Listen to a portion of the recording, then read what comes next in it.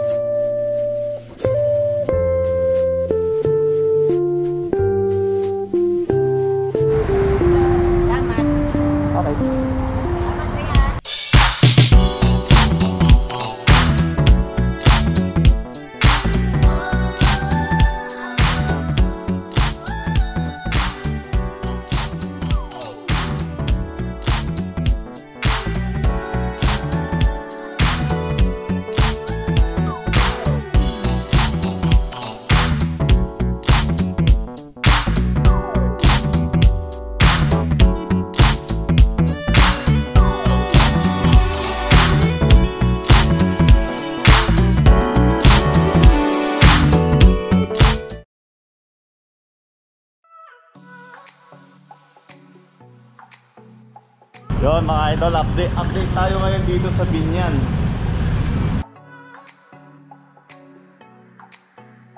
Ayun, tingnan natin ngayon yung mga ano nila dito, mga new arrival na mga bike, oh. Dami. Umpisahan natin dito sa loob. Ayan, oh. Mga idol. Ah, alam ko kasi marami ngayong parating eh, kaya maraming mga bike ngayon eh. Saka yung ano, mga discount nila mas ano na, mura na. Per, per sale nga, ika nga. Ah, 25 to 40% ang mga discount. Diba? Hi. Ayan oh, mga ano, si Madam. Dito sa Binyan, no? Oh, imbitahin mo sila yung dito sa Binyan. Sige na. Yan, di nahiya si Madam. Sige, mamaya na lang. Eto, mga hybrid dito sa bandang loob. Uh, Siyempre kasama na yung mga bike accessories, meron na rin sila dyan. Pati yung mga gulong, meron din silang binibenta rito. Tulad nito, mga pang 700 si 600 pesos. Ngayon, ang mga meron dito, ayan, mga hybrid pa rin. Yung tulad nun sa ibang branch, branches nila. Ayan, 4, 5, 5,000 negotiable. Ang good news nga sa kanila kasi burr sale. Ika nga, ah, sabi ni Sir, almost ah, almost ah, 25 to 40% ang mga discount ah. Kasi mas malaki daw ano dahil ah, talagang ah, hanggat maaari yung mga presyo mababa na. Ito 4,000 lang yung mga hybrid nila dito, mga Alto na yun. Yung iba dyan, mahaloy na rin. Siyempre, mountain bike na naman ulit, mga idol. Oh, ito, may, talaga marami sila mountain bike pala ngayon. Yan ang napansin ko mga alloy. Puro 26er nga pala. Ayan. So yung mga presyo niyan, ah 6,000. Mag-umpisa 6,000. May 5,500 pala. Ayun, 5,000 lang. Meron pala dyan. So siya nga pala yan. puro 26er naka V-brake sa harapan at likuran. Yung mga ano mga piyesa nga pala nito mga idol, ayan, mahalos sa 1 by 7 speed. Saka meron din 3 by 7 speed. Halos lahat yan, ah, naka V-brake po. Ito, mountain bike pa rin. So hindi na natin maisa-isa. So mabilisan, pahapyaw na natin itong mga to. Yan, karamihan nandito yung mga Alton. Ito naman size 24, meron din sila dito. Sa size 24, ayan, presyo na lang nila dito, ah, 4,000, 3,500 meron sila. May mabibili ka ng bike ah, sa presyo 3,500 naka junior mountain bike ka na na size 24 po.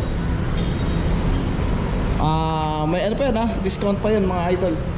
So dito, ah, hybrid pa rin. Sa folding bike, ito, meron sila mga folding bike, halo-halo, alloy at saka steel. So dito naman sa alloy, nakita ko naman mga 5,000 tapos sa steel naman, ah, meron dito 3,000. So yun, ganun kamura yung mga ano nila dito sa mga folding bike. Sa mga malapit dito sa Laguna, pwede nyo naman puntahan dito. Ah, ito yung ano, ah, Bike Depot, Binyan, Laguna. So dito naman yung mga murang mga bisikleta. Ito maganda to, Fila. Ayan. 4,500.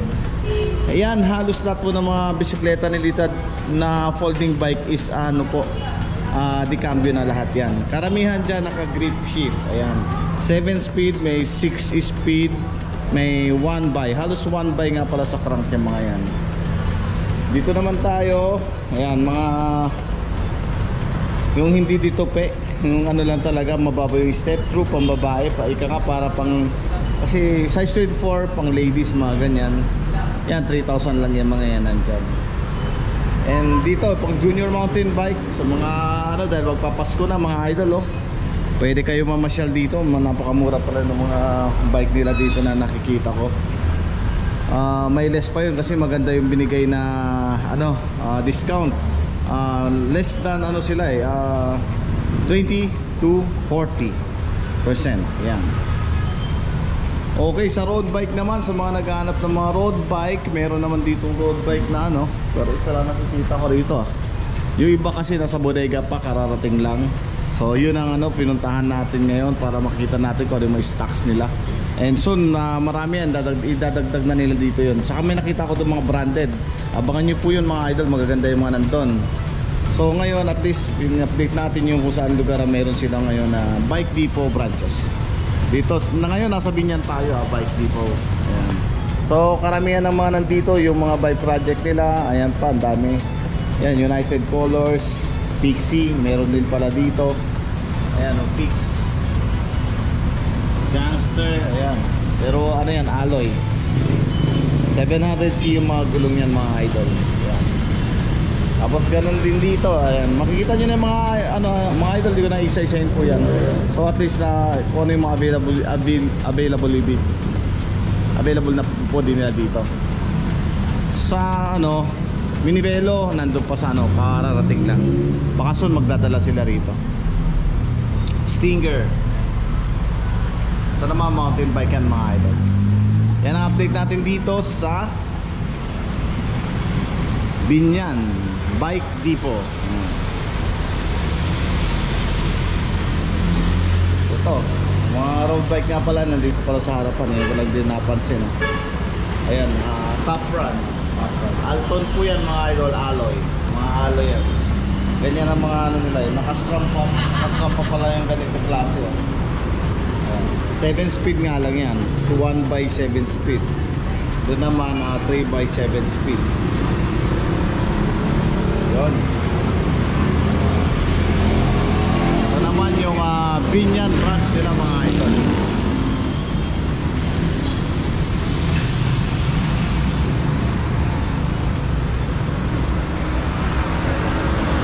Yan, maraming salamat mga idol. At uh, dito tayo, yan yung update ko dito ngayon sa Binyan branch nila